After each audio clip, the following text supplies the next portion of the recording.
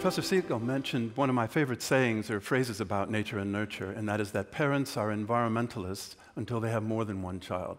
So, with your first child, you can explain anything environmentally. That's the problem with environmental hypotheses.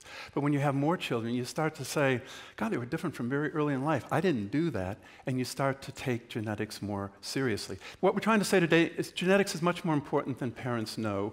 Parents don't have as much control as they think they do.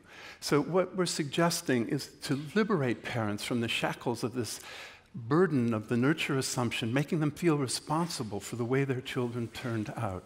We've talked a lot about parenting, but I want to talk about how troubling I find the idea that DNA is the only or the major systematic force in people's lives. Healthcare is a system, and it's a systematic force for people's lives.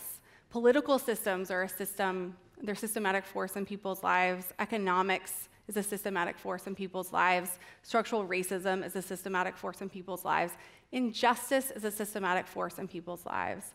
So I've, I've argued with Robert and Nancy about the scientific um, points in this, but I also want to close by thinking that I think that declaring DNA to be the only major systematic force in people's um, lives isn't only just scientifically inaccurate, but I think it's potentially dangerous in its complacency.